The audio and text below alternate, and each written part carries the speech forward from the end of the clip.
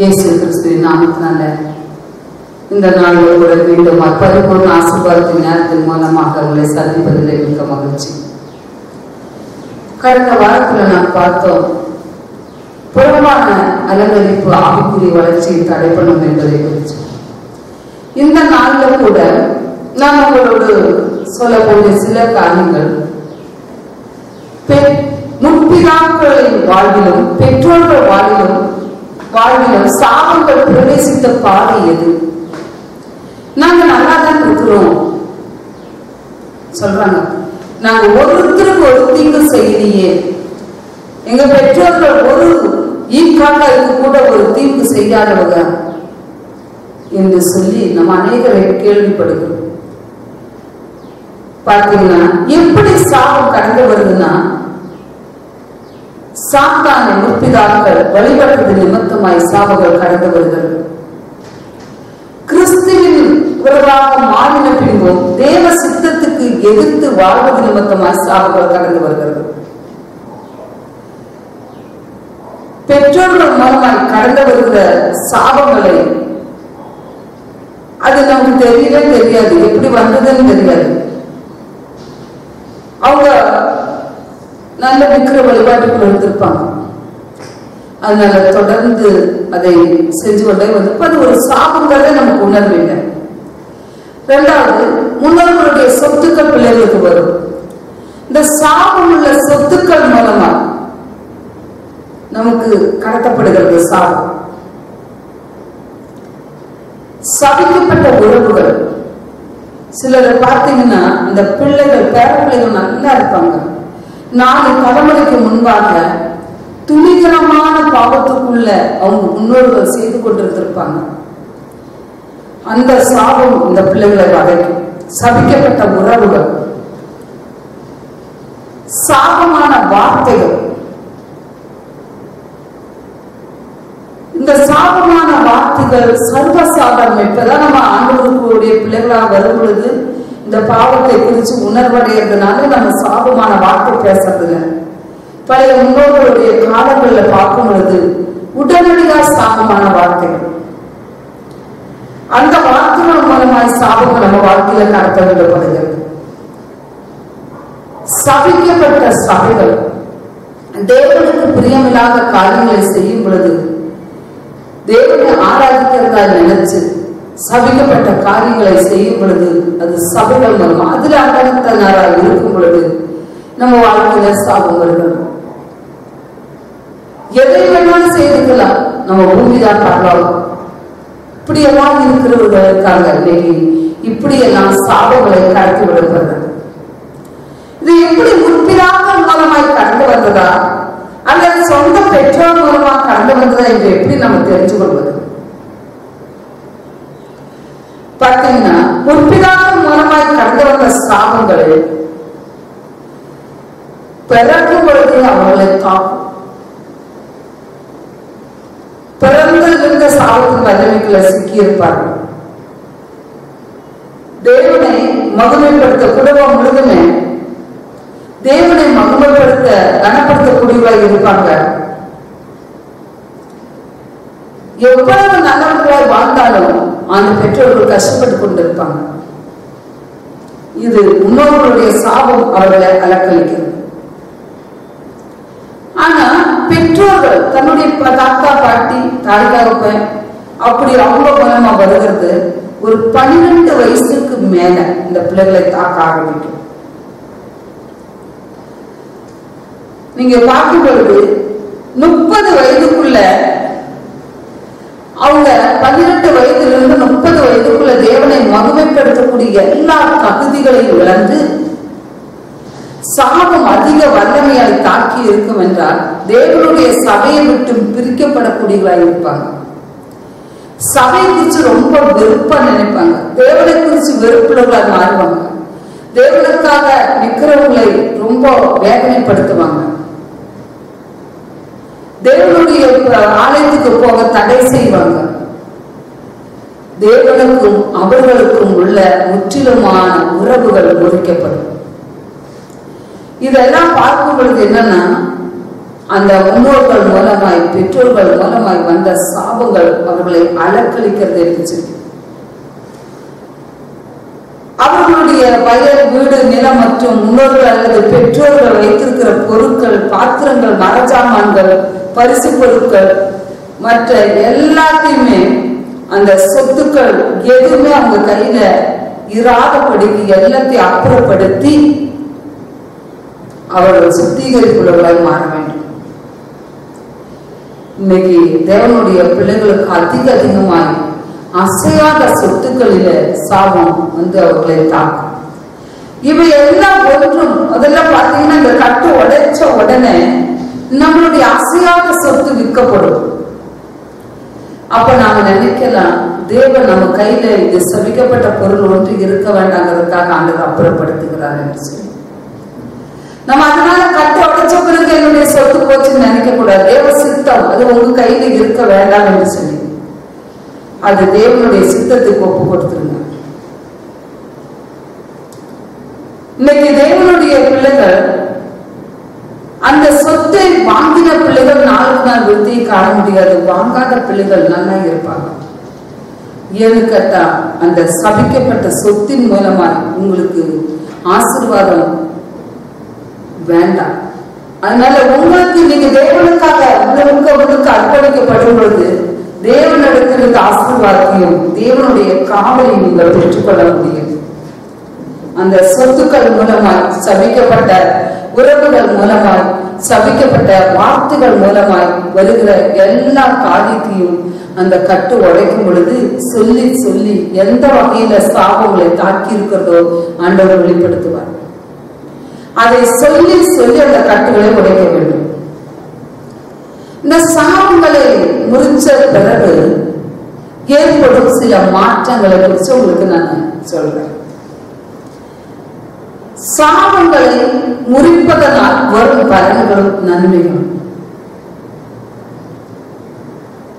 உபாகம் இருபத்தி எட்டாம் அதிகாரத்துல நீங்க பார்ப்பீங்கன்னா ஒன்று ரெண்டு வசனங்கள். தேவனுடைய சத்தத்துக்கு உண்மையாக செவி கொடுக்கும் பொழுது எப்படிப்பட்ட ஆசீர்வாதம் கிடைக்கும்? மீதி பதினான்கு வசனங்களை நீங்க வாசிக்கும் பொழுது ஆசீர்வாதம். அதன் பிறகு பார்த்தீங்கன்னா பதினஞ்சுல இருந்து அறுபத்தெட்டு வரைக்கும் சாவுகள். இந்த சாவுகளை முடிப்பதனால வரும் நன்மைகள் என்னன்னு பார்க்கும் பொழுது முதலாவது நமக்கு ஆசீர்வாதத்தின் மதங்களை தேவன் திறப்பார். நாம் இது வரைக்கும் சாபம் நம்மளை வேலைக்காரரை போல கீழே கொண்டு போய்கிட்டே இருந்திருக்கும். ஆனா நமக்கு நட்ட உடைச்ச பிறகு சபிக சாபப்பட்ட முடிச்ச பிறகு நம்மளை நாளுக்கு நாள் வேலை கொண்டு வந்து நம்மளை ஒரு எஜமானராகவோ ஆயுதர்களாகவோ நம்மளை ஆண்டவர் நிறுத்துவார். சாபம் இருந்தால் நம்மளை வேலைக்காரராக மாற்றும். ஆனா கட்டு உடைக்கப்படும் பொழுது நம்மளை எஜமானராக நாளுக்கு நாள் ஒரு உயர்வுக்குள்ள கொண்டு போகும்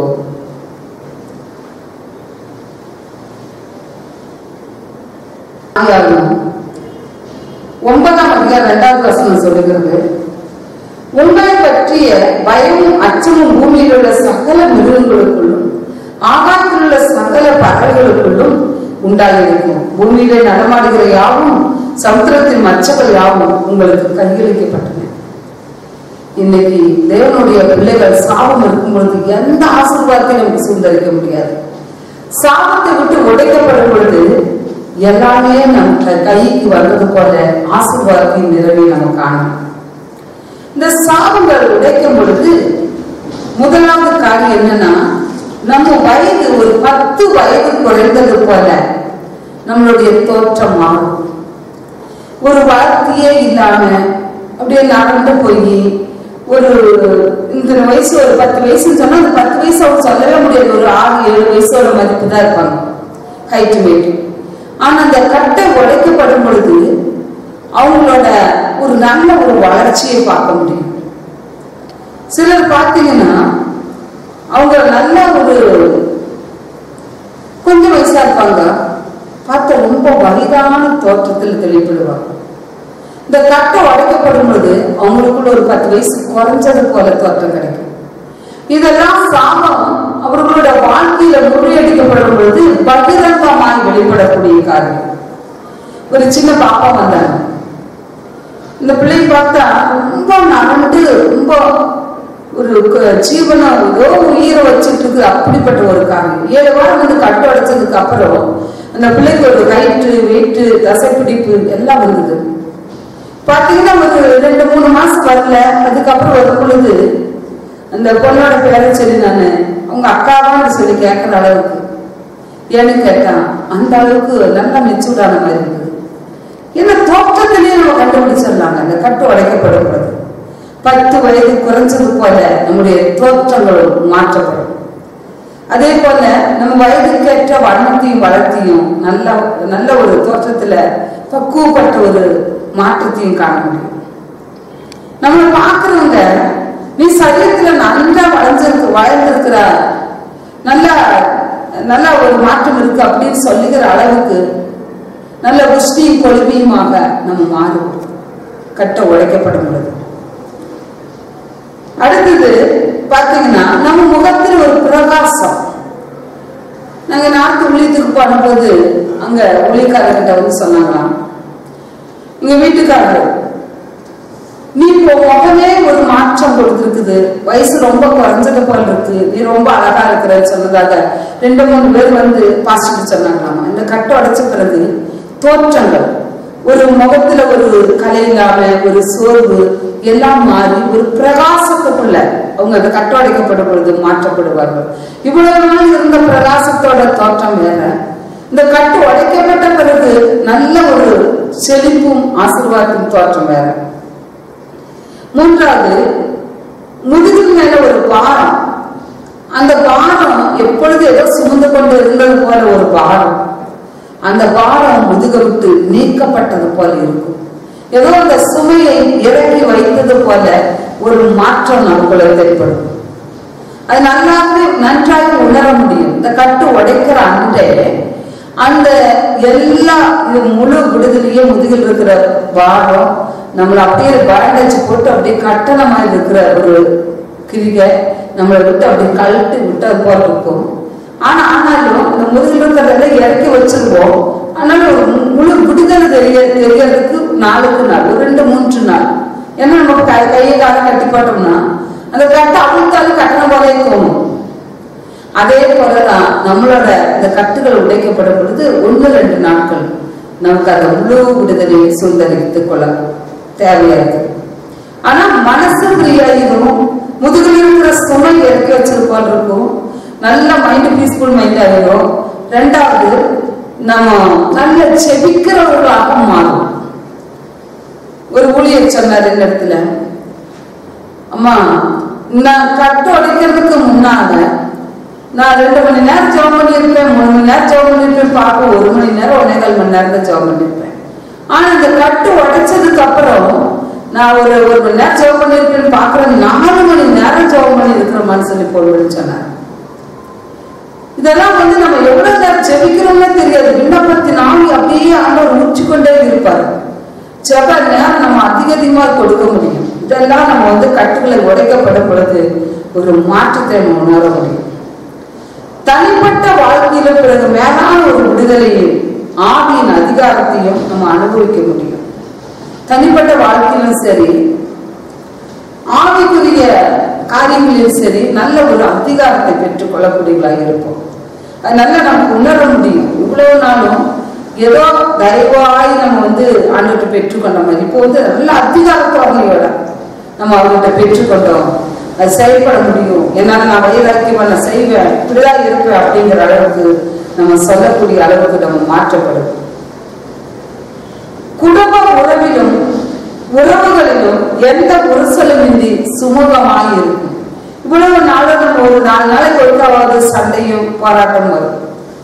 ஆனா நம்ம இந்த கட்டை உடைச்சதுக்கு அப்புறம் நம்மளோட உறவுகள் நல்ல சுமூகமாக இருக்கும். நல்ல ஒரு சமாதானம் வீட்டுக்குள்ள ஒரு சகிப்பு தாங்கிக் கொள்ளக்கூடிய சில திறமைகள் ஆண்டவர் கொடுப்பார்.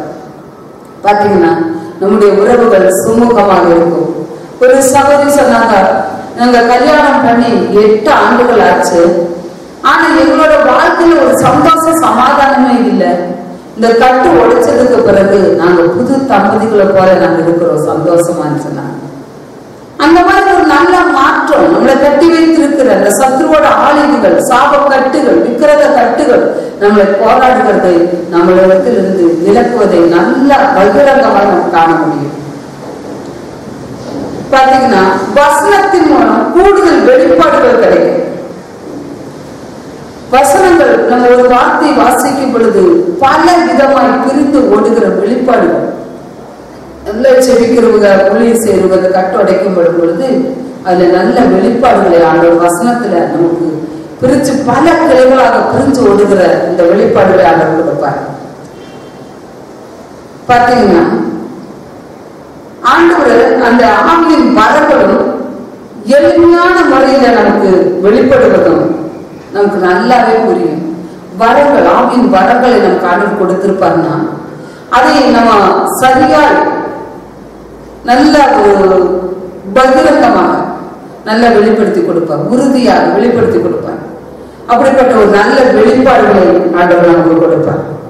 அந்த இருக்கிறத பார்க்கணும் நமக்கு இன்னும் கொஞ்சம் நல்ல ஒரு முன்னேற்றத்தை காண முடியும். சாவுங்க முடிக்கப்பட்ட பிறகுதான் இதை நன்றாக நம்ம உணரலாம். இவ்வளவு நாள் வெளிப்பாடுகள் இப்படி இருந்தது. இதாவா? அதுவா? சரியா? ஆண்டவர் பேசுறாரா? இல்ல இந்த சத்ரு பேசுறானா? அப்படிங்கறது எல்லாம் திட்டமும் தெளிவுமாய் ஆண்டவர் வெளிப்படுத்தும். இதுதான் தேவன் கொடுக்கிற வெளிப்பாடு. வசனங்கள் மூலமாக தேவனுடைய வார்த்தையின் மூலமாக வெளிப்பாடு கொடுப்பார் அடுத்தது ஆவியில நடப்பதும் ஆவியில வாழ்வதும் நமக்கு மிகவும் சுலபமாக இருக்கும். இவ்வளவு நாள் அது நமக்கு ரொம்ப கடினமா இருக்கும். ஆனா நமது கட்டுகளை உழைக்கப்படும் பொழுது ஆவியில வாழ்வதும் ஆவியில நடப்பதும் மிகவும் சுலபம் என்பதை நம்ம அறிந்து கொள்ளலாம் இது நமக்கு முதல்ல பார்த்தா ரொம்ப கஷ்டம் ஐயோ நம்ம அநேகருக்கு சத்தியத்தை சொல்லுகிறது சொல்றாங்க. எல்லாம் சரிங்க இதை செய்யக்கூடாது அதை செய்யக்கூடாது. விடுதலை எனக்கு தேவைதான் ஆசீர்வாதம் தேவைதான் ஆனா இதை செய்யக்கூடாது அதை செய்யக்கூடாதுங்கிறாங்க. இப்படிதான் இருக்கணுங்கிறாங்க. அதுதான் எங்களால கை கொள்ள முடியல ஆனா அந்த கட்டுகளை உடைக்கப்படும் பொழுது அது நமக்கு ஈஸியாக மாறும். தேவனுக்காக சில காரியங்களை அர்ப்பணிப்பதும் தேவனுக்காக சில காரியங்களை விட்டு விடுவதும் நமக்கு ரொம்ப ஈஸியா இருக்கும். முதல்ல எல்லாம் பாத்தீங்கன்னா நம்ம பழைய பாவங்கள் நம்ம ஏதாவது ஒரு தவறு செஞ்சிருப்போம். இது யாருக்குமே தெரியாது. இது நம்ம ஆவிக்குள்ள ஆவிக்குரிய ஜீவித்துல வந்த பிறகு ஒரு அற்புத ஊழியத்தை செய்யக்கூடிய ஒரு அற்புதமான ஒரு காரியத்தை செய்யக்கூடிய நிற்கும் பொழுது சாத்தான் சொல்லுவான் ஏன்?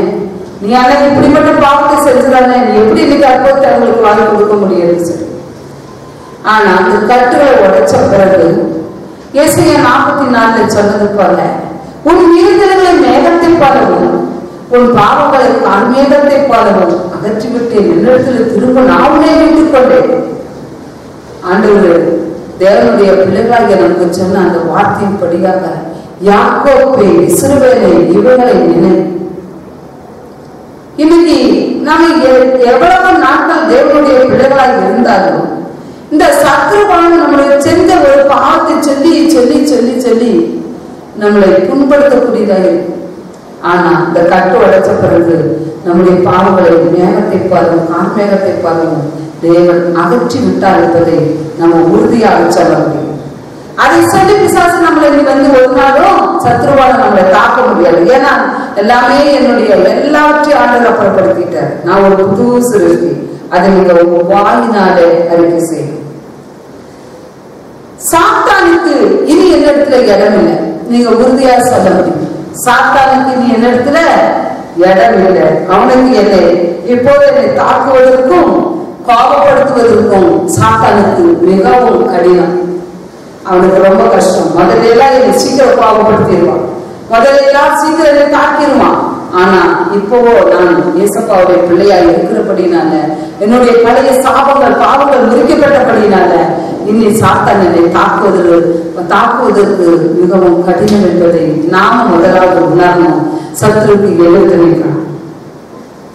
இவ்வளவு நாள் நம்ம பொறுமை இல்லாதவர்களாக கோபம் உள்ளவர்களாக இருந்திருப்போம். ஆனா மற்றவர்களை மன்னிக்காதவர்களாக இருந்திருப்போம். ஆனா இந்த கட்டுகளை உடைச்ச பிறகு நம்முடைய கோபம் மாறியும் மற்றவர்களை மன்னிக்கிறவர்களாக இருப்போம் பொறுமையுள்ளவர்களாக இருப்போம். எல்லாவற்றிலும் நமக்கு நல்ல ஒரு மாற்றம் உண்டாகி இருக்கிறது நம்ம உணர முடியும். இன்னைக்கு தேவனுடைய பிள்ளைகளாக உங்களுக்கு சொல்லுகிறேன் நீங்க ஏழு வாரம் வந்தா விடுதலை நல்ல நம்மளுடைய மன திரும்புதலும் குணப்படுதலும் முக்கியம். மனம் திரும்பி குணப்படும் பொழுதா அந்த ஆசீர்வாதத்தை சுந்தரிக்க முடியும். மனம் திரும்பிட்டுன்னு சொன்னா நம்ம அந்த குணத்தை நம்ம மாற்றி இருக்கோம் இருக்கணும். அந்த மாற்றாதபடிக்கு குணப்படாதபடிக்கு இருந்தோம்னா ஒரு பிரயோஜனம் இல்லை. நம்ம வாயாளர்களை மனம் திரும்புறவர்களாக இருக்கக்கூடாது. நம்ம பொறுமை வேணும் சகிப்பு வேணும். ஒன்று குழந்தைகளை சொன்னது போல பதிமூணாம் அதிகாரத்துல அன்பு சகலத்தையும் தாங்கும் அன்பு சகலத்தையும் சகிக்கும் அன்பு சகலத்தையும் நம்புவோம் இந்த வார்த்தை இப்படி பார்த்தீங்கன்னா நம்ம தேவனிடத்துல அன்புள்ளவர்களாக மாறும் பொழுது சகல காரியத்திலும் நம்ம சகிப்பும் பொறுமையும் உள்ளவர்களாக மாற்றப்படும். முன்பெல்லாம் நம்முடைய பழைய உணர்வுகளும் சுவாபங்களும் தலை தூக்கம் ஏற்படும். ஆனா இப்ப இந்த கட்டுகளை உடைச்ச பிறகு அது நமக்கு சாதாரணமா மாறிடும் இப்பொழுது அதை சுலபமாக அதை நாம் எதிர்க்கக்கூடிய திராணியை தேவன் கொடுத்திருக்கிறார். இந்த கட்டு உடைச்ச பிறகு அந்த பழைய சுவாபம் நம்ம மண்ணுக்கடியில போட்ட மாதிரி அந்த மாற்றத்தை கொடுக்கும். நம்முடைய மனக்கண்கள் திறக்கப்படுகிறது.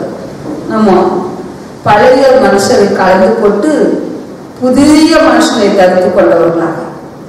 முதல்ல நம்ம இருளின் பிள்ளைகளாக இருந்தோம் ஆனா நாம் இந்த கட்டுகளை உடைச்ச பிறகு மனம் திரும்பின பிறகு நம்ம ஒளியின் பிள்ளைகளாக மாறி இருக்கக்கூடும். ஏன்னா சாத்தானுடைய தந்திரங்கள் நமக்கு தெரியாதவர்கள் அல்லவே.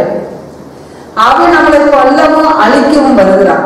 இந்த கட்டத்தில் உடைக்கப்படும் பொழுது நம்ம பரிபூர்ணமான ஒரு விடுதலைக்குள்ள காணணும்னா நம்முடைய சுவாபங்கள் இந்த கட்டுகளை உடைச்சதுக்கு பிறகு நம்ம முதல்ல எல்லாம் பார்த்தீங்கன்னா கலர் தோட்டத்துக்கு சர்வசாதாரணமா போவோம். நானும் அப்படித்தான் போயிட்டு இருந்தேன். இந்த வசனங்களை தியானிக்கும் பொழுது ஆண்டவர் சில காரியங்களை எனக்கு வெளிப்படுத்தினார். சில நபர்கள் என்னிடத்துல வருவாங்க. எனக்கு இப்படி ரொம்ப தொந்தரவுன்னு சொல்லுவாங்க. அப்ப ஆவியானவர் என்னிடத்துல சொல்லுவார் நீங்க ஒரு மரணத்துக்கு போயிருந்தீங்களா? மதிய கிரௌண்டுக்கு போயிருந்தீங்களா? அப்படின்னு சொல்லி. பார்க்கும் பொழுது ஆமாம் சொல்லுவாங்க. அப்ப நான் இது எப்படி ஆகும் சாத்தியம் என்று சொல்லி ஆண்டவர் இடத்துல கேட்ட பொழுது ஆண்டவர் சில காரியங்களை எனக்கு சொன்னார். பார்த்தீங்கன்னா லூக்கா பதினொன்றாம் அதிகாரம் இருபத்தி நாலாவது வசனம். அசுத்தாவும் ஒரு மனுஷனை விட்டு புறப்படும் பொழுது வறண்ட இடங்களில் அடைந்து இழைப்பாக தேடியும் கண்டடையாமல் நான் விட்டு வந்த என் வீட்டுக்கு திரும்பி போவேன் என்று சொல்லி வறண்ட இட இடத்துல. அப்படி பார்த்தீங்கன்னா கல்லறை தோட்டத்துக்குள்ள நம்ம ஒருத்தர் மறைச்சு கொண்டு போறோம் நம்ம குடும்பத்தின் நபர்கள். நம்ம ரொம்ப துக்கத்தோட வேதனையோட பாரத்தோட அந்த இடத்துக்கு போகிறோம்.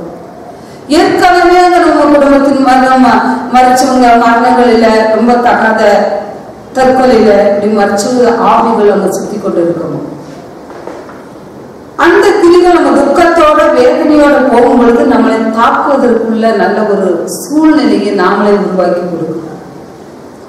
அதான் தேவனுடைய பிள்ளைகள் முடிந்தா மட்டும் இந்த கல்லறைகளுக்கு நம்ம போகாதபடிக்கு நம்ம போனோம்னா இன்னைக்கு ஆவிக்குரிய ஜீவித்து இருக்கிற பிள்ளைகள் அதை போய் அடக்கம் பண்றதோட சரி. அதுக்கப்புறம் நம்ம அந்த தோட்டத்துக்கு போக மாட்டோம். இதெல்லாம் ஒரு நல்லது. நம்ம ஏன்னு கேட்டால் அந்த பாரம்பரியமா நம்ம செய்யக்கூடிய காரியங்கள் எல்லாமே இந்த அசுத்த ஆவிகள் யாருக்குள்ளாவது நுழைவதற்கு காத்து கிடக்கும் பிசாசுகள் கல்லறையில இருந்து நம்மளை தாக்க முடியாது அதை விளக்க முடிஞ்ச மட்டும் நம்ம கட்டுகளை உடைச்ச பிறகு நம்ம அதையெல்லாம் கொஞ்சம் தள்ளி விடக்கூடிய அப்படி நம்ம செய்யும் பொழுது நம்ம அதே குடும்பத்தை சேர்ந்து மறைச்சு அந்த துக்கத்தோட போகும்பொழுது அந்த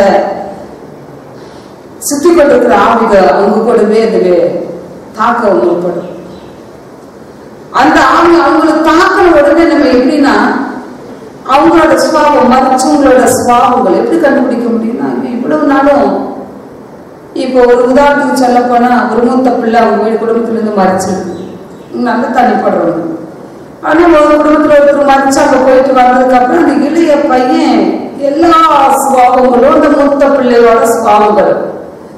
தண்ணியே போடாத பையன் தண்ணி போடுறான். எதிர்த்தே பேசாத பையன் எதிர்த்து பேசுறான். அவங்களுக்கு தெரியுது ஐயோ நம்ம மூத்த பிள்ளை எந்த பொழுது இப்படித்தானே செய்யலாம் ஏன்னு கேட்டா அந்த ஆவணம் அந்த ஆவி இந்த உடலை தாக்கி. உடனே நமக்கு அந்த வித்தியாசம் தெரியும். அதை உடனே அதை முறியடிக்கணும். இந்த அவங்களோட ஹேபிட் அவங்களோட பழக்க வழக்கங்கள் அப்படியே மாற்றத்தை கொண்டு வரும். அப்ப அந்த சேர்த்து ஆவியோட கிரியை தாக்கியிருக்கு இன்னைக்கு தேவனுடைய பிள்ளைகள் மிகுந்த ஜாக்கிரதையுள்ள எங்க போனாலும் தேவனிடத்துல சத்தியத்தை கேட்டு செயல்படும் கட்டு உழைச்ச பிறகு நம்மளுடைய ஆலயமாகிய சரீரத்தை நம்ம பாதுகாக்கணும். அது அதிக அதிகமாக தேவனுடைய ரத்தத்துக்குள்ள பாதுகாப்புக்குள்ள மறக்கிறதோடு மட்டுமல்ல எப்பொழுதும் தேவனை துணிக்கிறதாக இருக்கும். ஒரு நாளைக்கு இரண்டாம் மணி நேரம் தசமா பார்க்க நேரத்தை கொடுக்கிறவர்களாக இருக்கணும் செதுக்கணும் வேதத்தை அதிகமாக வாசிக்கணும். இப்படி இருக்கும் பொழுது நாளுக்கு நாள் விருத்தியை காண முடியும். தேவனுடைய பிள்ளைகளாக உங்களுக்கு நாம் சொல்லுகிறது என்னவென்றால் தேவனிடத்திலிருந்து ஈஸியா எல்லா ஆசீர்வாதத்தையும் பெற்றுக்கொள்ள கடினமே இல்லை. ஆனா சில காரியங்களை விடும் பல காரியங்களை தேவன் நமக்கு கொடுக்கிறார். நம்ம தேவனுடைய கற்றுக் வருகிற வருகின்ற வாரத்துல நான் உங்களுக்கு பில்லி சூழ்நிலைகளின் தாக்குதல் எப்படி என்றும் அது அடையாளங்கள் எப்படி நம்ம கண்டுபிடிக்கிறது என்பதை குறிச்சும் நம்ம ஒரு நாட்களில பேசும்படியாக இருக்கிற ஜெயத்தோட வாருங்கள். தேவன் இந்த நாளில் கேட்ட ஒவ்வொருவரையும் ஆண்டவரே இந்த வேலையில அந்த கட்டு உடைப்பதற்கு ஆண்டவரை முயற்சி செய்ய அதற்கான ஆயத்தப்பட அதற்கான நம்முடைய பிள்ளைகள் ஆண்டவரை பெற்றுக்கொள்ள வேண்டிய ஆசீர்வாதத்தை ஒரு நாள் சத்துரு தடை செய்யாதபடி அதற்காக காத்திருந்து செழித்து இந்த கட்டுகளை உடைத்து சாவுகளை முடித்து பிள்ளைகள் உமக்காக ஆண்டவரை விரும்பி பிரகாசிக்க நீர் உதவி செய்யும். உடைய பிள்ளைகளை ஆசீர்வதிக்க வேலைப்படுத்து இயேசு கிறிஸ்தாவின்